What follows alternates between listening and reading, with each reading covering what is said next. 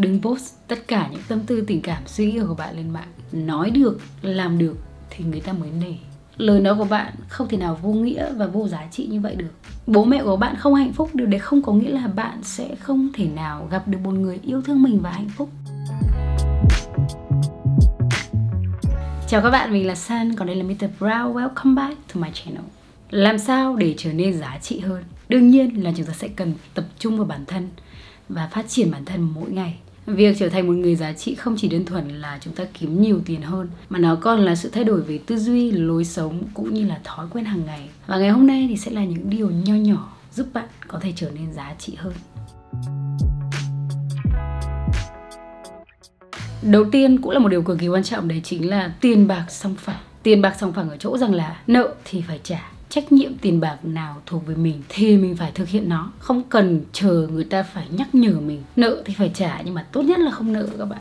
Đã có rất là nhiều mối quan hệ tan vỡ chỉ vì tiền. Không cho mượn thì mất bạn, nhưng mà cho mượn thì vừa mất bạn, vừa mất tiền. Chúng ta đã nghe câu nói đấy rất là nhiều rồi, đúng không?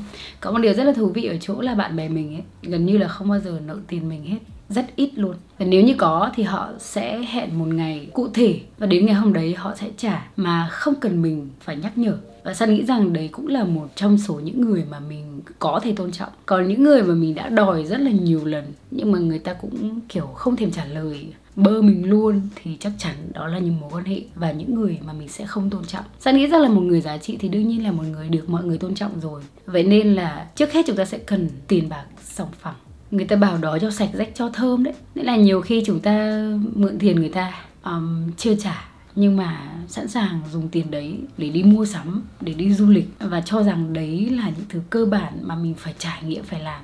Thế thì không được san nghĩ là không được. Thứ hai đấy chính là ái tình phân minh.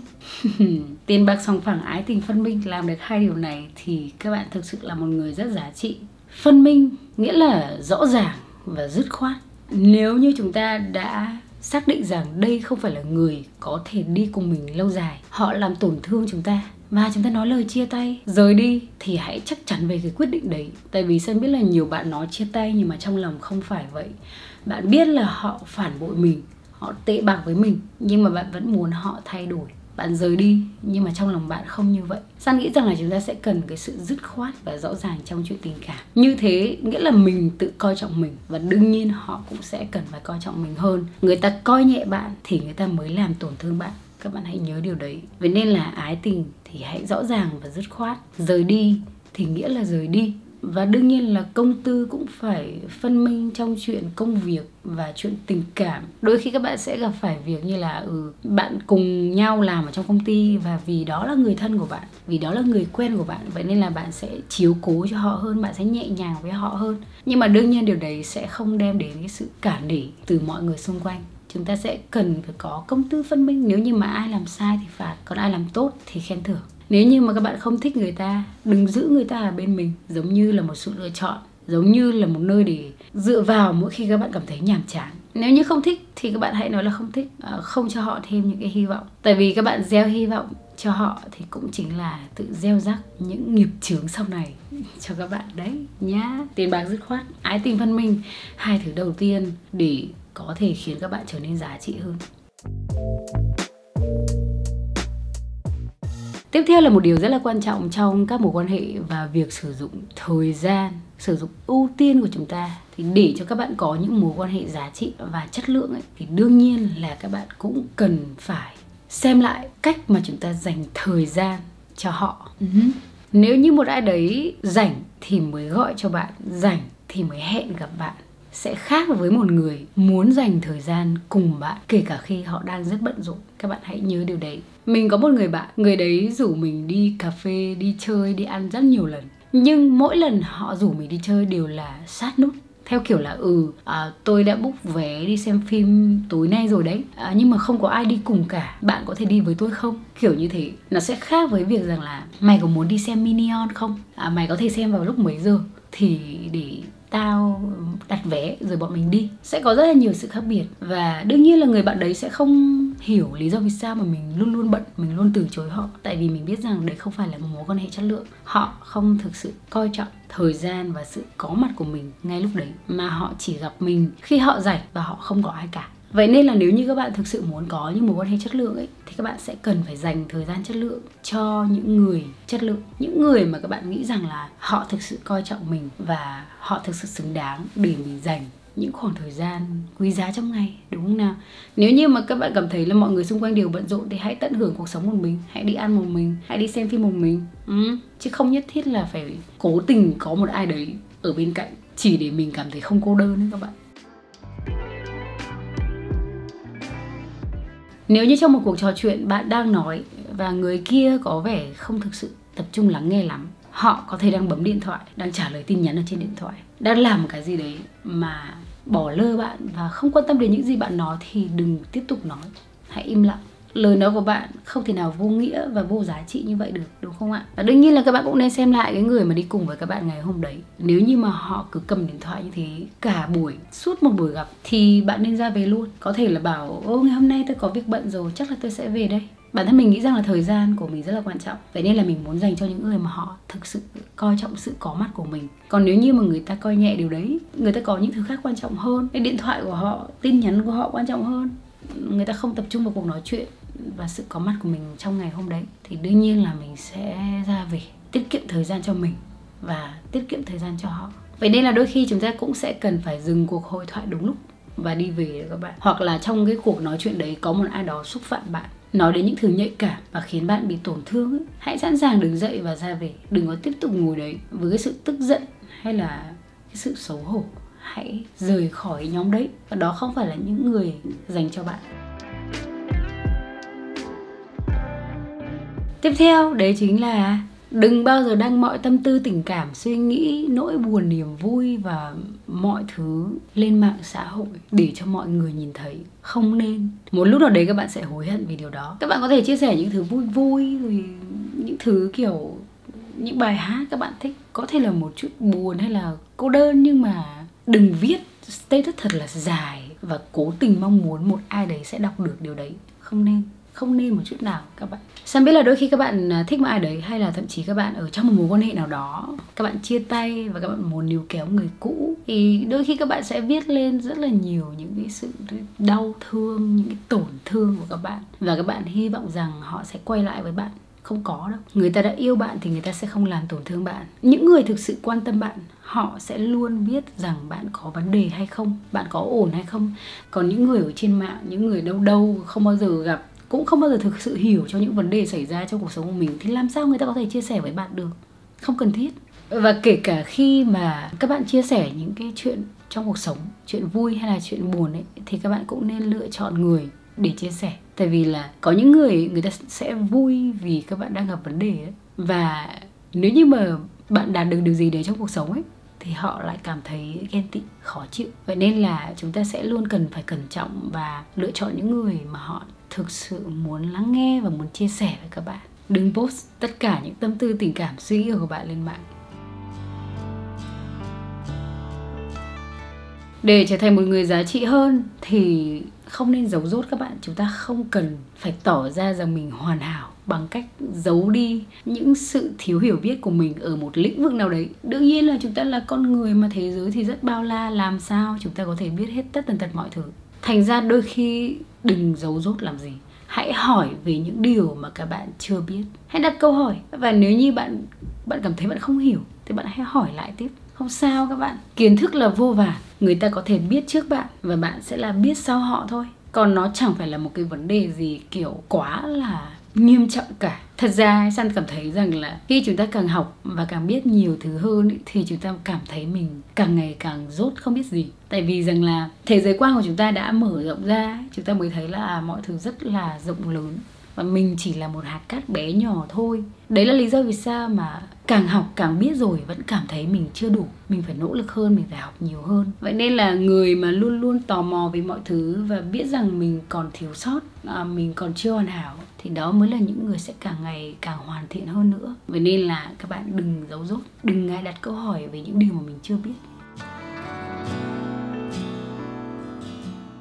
Hãy tiết kiệm lời hứa, tại vì có thể bạn sẽ quên, nhưng mà người ta không quên đâu. Lời hứa của bạn một khi đã thốt ra rồi, trời biết đất biết, và đương nhiên là người mà được hứa đó, họ sẽ luôn nhớ điều đó. Vậy nên là đừng hứa vu vơ các bạn không hứa vu vơ không nói là ừ tôi sẽ làm cái này tôi sẽ làm cái kia cho các bạn. Tôi nhất định tôi sẽ làm. Hãy tiết kiệm lời hứa và hãy chỉ hứa khi bạn sẽ làm được sẽ thực sự làm được nó mà thôi.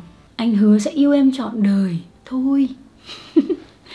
Đúng là chỉ đúng tại thời điểm nói nhiều khi chúng ta hứa quá nhiều nói quá nhiều ấy, đến một lúc nào đó người ta sẽ không còn tin vào những lời nói của các bạn nữa. Vậy nên thay vào đó chúng ta hãy hành động và lời hứa thì nên tiết kiệm, nói được, làm được thì người ta mới nể. Tiếp theo thì đây là một điều mà San nghĩ rằng là mình đã xem được ở trong một video nào đấy. Nếu như các bạn muốn trở thành một người giá trị thì đương nhiên các bạn sẽ cần phải kết nối với những người giá trị. Đây là điều không thể bàn cãi. Tại vì những người xung quanh các bạn sẽ ảnh hưởng đến các bạn rất là nhiều. Đôi khi họ chính là động lực để bạn thay đổi và đôi khi họ cũng sẽ là những người để các bạn tâm sự chia sẻ và cùng nhau phát triển trong cuộc sống. Vậy nên là hãy cùng nhìn lại những người xung quanh bạn bây giờ. Ai là quality people? Ai là người chất lượng trong các mối quan hệ của các bạn? Chất lượng ở đây không chỉ đơn thuần là à, họ giỏi họ tốt mà họ phải là người khiến bạn tốt hơn nữa. Nghĩa là họ khiến bạn cảm thấy muốn tốt hơn. Còn có những người họ rất là giỏi họ rất là giàu đấy nhưng mà họ rất là coi thường bạn. Họ chỉ tìm đến bạn khi họ rảnh hoặc là họ cần bạn nhờ vả bạn một cái gì đấy thôi chứ họ không thực sự quan tâm đến bạn đôi khi các bạn cố gắng hòa mình vào một nhóm người nào đấy, nhưng mà rõ ràng bạn biết là mình không thuộc về. Vậy thì hãy mạnh dạn bước ra đi, đừng sợ cô đơn, đừng sợ một mình các bạn. Phải đi một mình thì mới mạnh mẽ hơn, mới phát triển tốt hơn được. Và sau đấy thì hãy lựa chọn những người mà họ chất lượng, tạo nên những mối quan hệ chất lượng, lâu bền, hỗ trợ lẫn nhau trong cuộc sống. Có một câu rất là hay đấy chính là thà một mình đắt giá còn hơn là bước vào những cuộc hẹn rẻ tiền đấy. cái câu đấy mình nghe gần đây mình không nhớ là ở đâu, nhưng mà nó đúng thiệt nha các bạn. Nó rất là đúng. Chúng ta sẽ luôn cần có thời gian của riêng mình để trau dồi bản thân. Kể cả các bạn có là người hướng ngoại hay là người hướng nội đi chăng nữa, thì chúng ta cũng cần phải hướng đến sự phát triển của chính mình. Và đừng bị cuốn theo những cuộc vui chơi quá nhiều các bạn. Có thể là các bạn đang là sinh viên, học sinh, hay thậm chí là các bạn đã đi làm rồi, thì các bạn đừng quên rằng hành trình này vẫn đang tiếp tục có nhiều điều để khám phá nữa. Chúng ta nên dành thời gian một mình để phát triển. Có thể là một tiếng một ngày cũng là thời gian rồi đấy các bạn. Thay vì các bạn cầm điện thoại các bạn lướt tiktok không có điểm dừng. San biết có rất nhiều bạn đang nghiện tiktok hay là những cái mạng xã hội khác. Sử dụng hợp lý thì rất là ok nhưng mà đã đến mức nghiện ấy, thì rất là khó để chúng ta thực sự dành thời gian cho những điều giá trị trong cuộc sống. Vậy nên là chúng ta cần phải dành thời gian để phát triển bản thân nó có thể là một giờ đồng hồ đọc sách, một giờ đồng hồ nghiên cứu những kiến thức ở trên mạng, học ngoại ngữ. Không hẳn là lúc nào các bạn cũng cần ra ngoài gặp gỡ ai đấy, ăn uống, shopping. Các bạn chỉ cần một đến hai lần một tuần thôi là được rồi các bạn các bạn không cần dành hết thời gian cho tất cả mọi người xung quanh. Các bạn nên dành thời gian cho chính mình để phát triển bản thân mình nữa. Bởi vì đôi khi trong lúc đi chơi với bạn, người ta vẫn có thể đang kiếm tiền bằng một cách nào đấy. Nhưng mà bạn đi chơi với họ thì bạn chết đói, bạn không có gì, bạn không có tiền, bạn chỉ tiêu tiền thôi. Thành ra là hãy trở nên bận rộn hơn vì bạn đang dành thời gian cho chính mình. Hãy từ chối những cuộc hẹn không cần thiết để tập trung vào bản thân. Hãy làm quen với việc một mình, những chiến binh luôn luôn mạnh mẽ cho dù họ có ở một mình nhé mỗi tuần hãy làm một điều gì đấy mới mẻ trong cuộc sống của các bạn đó có thể là việc bắt đầu một thói quen mới Thật ra thì San đã chia sẻ rất là nhiều những thói quen hàng ngày mà đã khiến cuộc sống của mình thay đổi. Trong thời gian tới, nếu như các bạn muốn xem một video về, gọi là, xây dựng một thói quen mới thì có thể San sẽ làm. San đã từng chia sẻ rất là nhiều những nội dung liên quan đến à, những thói quen để có một ngày hiệu quả này, các bạn có thể xem những video đấy ha. Đôi khi là vượt qua những giới hạn an toàn của bản thân và nó sẽ đưa lại một số những điều rất là thú vị cho cuộc sống của các bạn. Ngoài những thói quen ra, thì đó có thể là một sự kiện gì đấy mà trước giờ bạn chưa từng tham gia ví dụ như là việc ngồi thiền hay là xem một bộ phim mà bạn không bao giờ nghĩ rằng mình sẽ xem bộ phim đấy nói chung là hãy làm một điều gì đấy mới mỗi tuần những điều mà các bạn nghĩ rằng các bạn không bao giờ làm hoặc là các bạn chưa từng nghĩ là mình sẽ làm nó. Với mỗi ngày trôi qua thì đôi khi cuộc sống sẽ trở thành một vòng lặp ấy. Thì việc làm mới mình thường xuyên như thế sẽ khiến các bạn cảm thấy cuộc sống này thú vị hơn. Và chính vì làm những điều mà các bạn nghĩ rằng mình chưa từng làm nó mới trong cuộc sống ấy, thì nó sẽ cho bạn cơ hội để trải nghiệm nhiều hơn. Đến một ngày nào đấy khi mà sự tò mò đủ lớn ấy, thì uh, biết đâu các bạn lại tìm ra được một vài những con đường dành cho mình trong một ngành nghề gì đấy. Sân ngày xưa đấy mình học ngành quản trị kinh doanh mình ra làm marketing. Nhưng mà vì mình quá tò mò về youtube vậy nên là mình tìm tòi về nó sau mình thử làm sau mình thích nó. Và bây giờ mình là youtuber mình ngồi đây với các bạn. Á biết được chuyện gì sẽ xảy ra đúng không ạ? Không cần phải cố gắng chứng minh mình cho người khác. Chúng ta đang sống cố gắng nỗ lực mỗi ngày để trở thành một phiên bản tốt hơn của bản thân mình. Vì các bạn xứng đáng điều đấy chứ không hẳn là để chứng minh cho ai đấy thấy. Tại vì đôi khi để chứng minh cho người khác ấy thì các bạn lại đưa lại những cái thông tin giả. Đấy, nhiều người như thế các bạn. Nhiều người nhiều chàng trai muốn tán một cô gái ấy, đưa đến những thông tin giả cho cô ấy. Như là nhà xe rồi vị trí tài chính này kia chỉ để cua một cô gái. Đấy không phải là thật chúng ta không cần phải chứng minh với một ai cả các bạn. Chúng ta sẽ cần thành thật với bản thân mình. Người tin mình, họ sẽ tin mình. Người không tin mình thì người ta sẽ không tin mình. Và có thể có rất là nhiều người nói rằng bạn không làm được cái này, không làm được cái kia. Nhưng mà đấy là việc của họ. Bạn hãy cứ tiếp tục với mục tiêu của riêng bạn. Đừng quá mất thời gian để chứng minh cho người khác là à tôi đã làm được cái này, tôi đã làm được cái kia. Có một câu rất là hay để chính là hãy cứ chăm chỉ làm việc trong im lặng và sự thành công của bạn sẽ là tiếng nói. Bạn không cần phải nói gì hết ấy. sau này những gì bạn làm, những gì bạn cố gắng và khi đã được thành quả, người ta sẽ cảm nhận được điều đấy, người ta sẽ biết điều đấy. Mà bạn không cần phải nói ra, bạn không cần phải lên mạng chứng minh, lên mạng đăng story, tôi là người như thế nào, tôi là người thế này, tôi kiếm được nhiều tiền như thế này. Không cần thiết, không cần phải chứng minh cho ai hết các bạn. Có những người họ sẽ rất coi thường bạn, tại vì bạn chưa có gì cả. Nhưng mà chúng ta nỗ lực cố gắng vì cuộc sống của mình, vì chúng ta muốn có những thứ chúng ta muốn, chứ không phải là để cho họ cảm thấy ghen tị với mình. Hãy mặc kệ họ sống cuộc sống của các bạn. Đừng để họ là lý do khiến mình nỗ lực cố gắng. Mà mình cố gắng vì chính bản thân mình và vì những người mà mình yêu thương. Khi mà ai đó dành lời khen cho bạn ấy, thì các bạn nên nói lời cảm ơn, nên thể hiện sự biết ơn và cảm ơn, thay vì là cố phủ nhận nó. Ví dụ như một ai đấy khen, wow, bạn hôm nay, kiểu, trông xinh hơn thường ngày nhỉ thì bạn đừng cố gắng nói là, ủa, thế ngày thường không xinh à? Hoặc là ừ, có sinh đâu, ngày hôm nay cũng có gì khác đâu. Mà đơn giản bạn chỉ cần nói rằng là à mình cảm ơn. Wow, mình cảm ơn. Đây là lần đầu tiên mà mình nghe bạn khen mình. Thì chắc là ngày hôm nay phải có gì đấy khác nhỉ ừ và cười một nụ cười thật tươi. Chỉ đơn giản như vậy thôi các bạn. Tại vì khi mà chúng ta nhận những lời khen từ người khác ấy, và chúng ta cảm ơn ấy, thì nghĩa là chúng ta thực sự hiểu giá trị của mình. Nếu như chúng ta cố gắng để để từ chối để phủ nhận nó thì nghĩa là chúng ta đang hơi tự ti. Và chúng ta không nghĩ là những điều người ta đang nói là thật. Nhưng đôi khi họ khen thật lòng. Ngày hôm nay bạn xinh thiệt và bạn đáng yêu thiệt bạn giỏi thiệt bạn thông minh thiệt bạn làm một cái gì đấy tốt. Hãy nói lời cảm ơn là được cảm ơn cảm ơn bạn rất là nhiều. Mình cảm ơn bạn rất nhiều. Em cảm ơn anh rất nhiều. Chỉ đơn giản là như vậy thôi. Và đương nhiên một điều cực kỳ quan trọng để giúp các bạn trở nên giá trị hơn đó chính là kiểm soát sự tức giận. Và thân là một người nóng tính. Trước đây san nghĩ rằng là mình đã có một vài những hành động mà nó hơi bản năng và nó khiến người khác bị tổn thương. Hồi mà mình còn tuổi tin tin nữa các bạn. Nhưng mà càng ngày thì chắc là do tuổi tác. và đặc biệt là do trải nghiệm, thì mình trở nên đầm hơn. Cái sự nổi nóng nó cũng sẽ hợp lý hơn. Mình thể hiện tức giận một cách phù hợp hơn để người khác có thể hiểu rằng à cái việc họ làm đấy nó khiến mình tổn thương. Chứ không phải là mình xúc phạm họ hay là mình mình khiến họ bị tổn thương ấy các bạn. Đôi khi chúng ta bị tức giận, chúng ta rất là muốn làm đau người khác để cho hả giận. Nhưng mà rốt cuộc cuối cùng thì cái chuyện đấy nó không bao giờ kết thúc, tại vì người bị tổn thương lại muốn làm tổn thương người khác. Vậy nên là kiểm soát cơn giận của mình là một điều cực kỳ quan trọng. Đừng ngại giúp đỡ người khác. Đôi khi sự giúp đỡ của bạn có thể mang lại giá trị cho một ai đấy, có thể khiến một ngày của họ trở nên tuyệt vời hơn. Khi mà các bạn giúp một ai đấy tốt hơn, thì chắc chắn là bạn cũng nhận được một điều rất là tuyệt vời. Bạn cảm thấy mình là một người có ích các bạn. Và đương nhiên là khi các bạn giúp đỡ hay là cho đi, thì các bạn đừng có mong nhận lại gì cả bởi vì riêng cái việc cho đi đó đã là một sự nhận lại rồi. Tại vì là nếu như các bạn giúp đỡ một ai đấy mà họ không muốn nhận ý, thì đương nhiên bạn sẽ không thể nào giúp đỡ họ. Vậy nên là khi bạn đã giúp đỡ được một ai đấy rồi thì nghĩa là bạn đã nhận lại được rồi. Nên là hãy cứ giúp đỡ hãy cứ cho đi mà mà không nhận lại. Sẵn là một người rất là thích trò chuyện mình rất là hay muốn uh, chia sẻ tâm sự và giúp đỡ với người khác. Và nếu như họ nhận điều đấy thì Sơn cảm thấy rất là biết ơn rồi tại vì có nhiều người họ còn không muốn nhận những sự giúp đỡ của người khác cơ. Vậy nên chúng ta sẽ có một điều tiếp theo.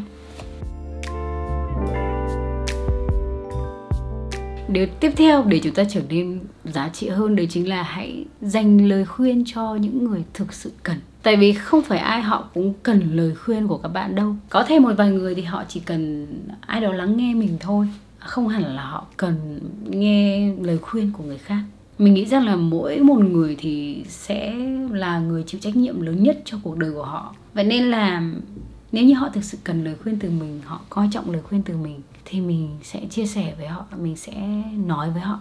Còn nếu như mà họ không cần ý, thì việc mà mình nói ra đôi khi sẽ khiến họ cảm thấy rằng là mình đang can thiệp quá nhiều đến cuộc sống riêng tư của họ. Và từ đấy thì bản thân những người đó họ sẽ không còn kiểu tin tưởng để tiếp tục chia sẻ nữa. Thật ra thì đối với những người họ thực sự quan tâm bạn ấy, thì họ mới đưa ra lời khuyên thôi chứ không chứ không phải là họ muốn can thiệp quá nhiều vào cuộc sống của bạn đâu. Tại vì bạn thấy là phần lớn những người mà hay hay cho mình lời khuyên, hay dạy bảo mình nhất thì là bố mẹ mình, ông bà mình, người quen của mình. Còn những người lạ, người ta không hơi sức đâu dành để người ta bận tâm đến cuộc đời của bạn đâu. Đấy, thì mình hiểu là điều đó, mình hiểu như thế. Và mình cảm thấy rằng là đôi khi lời khuyên của mình bị mọi người hơi coi nhẹ một chút. Tất cả mọi quan điểm trong cuộc đời này, nó không có đúng hay là sai. Nó chỉ có phù hợp với ai hoặc là không phù hợp với ai thôi. Đôi khi một lời khuyên nó có thể đúng với người này, nhưng nó không đúng với người kia. Tốt nhất là hãy để họ tự cố gắng và vượt qua, nếu như mà họ không cần lời khuyên từ bạn. Một điều cuối cùng nữa đấy chính là không bó buộc bản thân bạn vào bất cứ một nhóm người nào khác. Ví dụ như là san thấy có nhiều bạn đang bó buộc giá trị của mình vào một nhóm bạn bè hoặc là vào gia đình các bạn. Có thể là các bạn lớn lên trong một gia đình mà không hạnh phúc, bố mẹ của các bạn đánh nhau, ly hôn, kinh tế thì không có và các bạn tủi thân vô cùng. Các bạn nghĩ rằng là mình sẽ không thể nào ngoi lên được. Như người ta chỉ vì hoàn cảnh gia đình mình như thế. Nhưng mà san nghĩ rằng là giá trị của bạn là của con người bạn.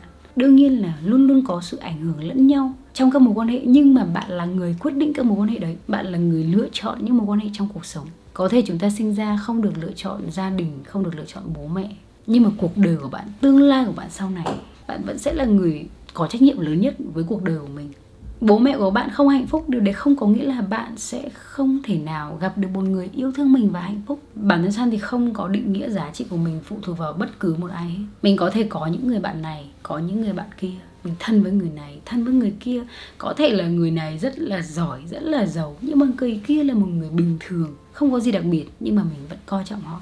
Giá trị của mình cũng không phụ thuộc vào những bằng cấp hay là những cái mác nào mà mình có đôi khi các bạn hãy cảm thấy bình thường khi bạn chỉ có một mình. Không nhất thiết chúng ta phải xà vào một nhóm người nào đấy đến vào những cuộc hội thảo rỗng tuếch tham dự những cuộc họp không có đầu không có cuối.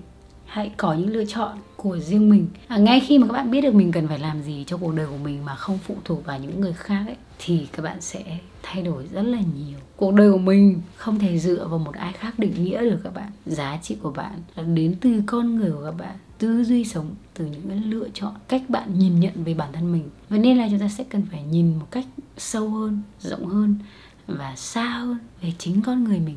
Và vừa rồi là một số những chia sẻ của mình về những điều nho nhỏ giúp chúng ta có thể trở nên giá trị hơn mỗi ngày. Cảm ơn các bạn đã theo dõi và đừng quên nhấn nút đỏ và nút chuông, đăng ký kênh để không bỏ lỡ bất cứ video nào của San trong thời gian tới. Tạm biệt và hẹn gặp lại các bạn trong những video lần sau.